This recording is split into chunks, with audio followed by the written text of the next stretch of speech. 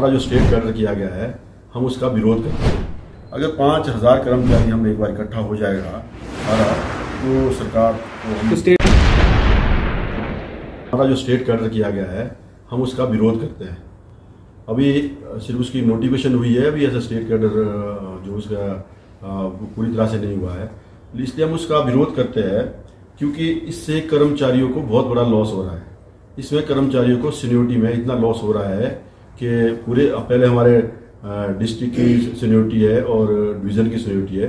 जब वो स्टेट की हो जाएगी तो स्टेट में इतना बड़ा लॉस होगा कि जो बंदा हमारा थर्ड नंबर पे होगा, वो सत्तर नंबर पे चला जाएगा। हमने थोड़ा इसको कर दिया है।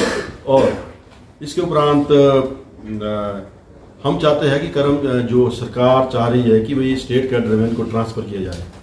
ठीक है, अगर ये ट्रांसफ़र करना चाहते हैं तो उसके लिए नोटिफिकेशन करें। लेकिन जो सीनियोरिटी है, वो हमारे डिस्ट्रिक्ट पे ही रहनी चाहिए। देखिए, हमने सरकार से बार बार आग्रह किया, शांतिपूर्ण तरीके से हमने ज्ञापन दिए, अपना विरोध किया, लेकिन सरकार ने हमारी एक भी बात नहीं सुनी, एक भी बात नहीं बनी। यहाँ तक कि सरकार के जो उच्च अहदे पे लोग बैठे हैं तो हमें मिलने के लिए भी नहीं बुलाते। अगर हम जाते हैं, अगर कहीं एक दो बारी टाइम दे दिया तो सिर्फ़ only two minutes three minutes कुछ वार्ता नहीं हो पाती। और सरकार, ऐसा लग रहा है मेरे, मुझे हिसाब से कि सरकार हमारे को कम आंक रही है। हमारा जो कर्मचारियों की स्ट्रेंथ है, पूरे स्टेट में आई थिंक मैं कहता हूँ कि पाँच हज़ार के लगभग है।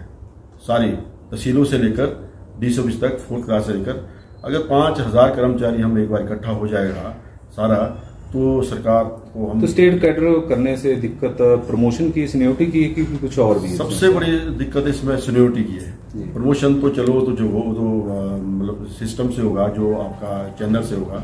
सीनियोरिटी क्या सीनियोरिटी में ऐसा है कि हमारे पहले यहाँ पे जैसे डिस्ट्रिक्ट कैडर था। तो हमारे डिस्ट्रिक्ट कैडर में जो डिवीज़न कैडर है जो इस टाइम हमारे पास डिवीज़न कैडर में तीसरे चौथे नंबर पे है। हमने एक जो टेंटेटिव सीनियोरिटी लिस्ट बनी उसमें देखा वो चौथे नंबर वाला बंदा हमारा सत्तर नंबर पे चला गया है। क्योंकि कांगड़ा बहुत बड़ा डिस्ट्रिक्ट है, मंडी बहुत बड़ा डिस्ट्रिक्ट है तो उनके जो लोग हैं, वहाँ पे काफ़ी स्ट्रेंथ है उनकी। कल को हम कोर्ट भी जा सकते हैं, ऐसा कुछ नहीं है। तो मेरा यही आग्रह रहेगा सरकार से एज ए प्रेजिडेंट कि सरकार हमारी मांगों को माने और हमें वार्ता के लिए बुलाए।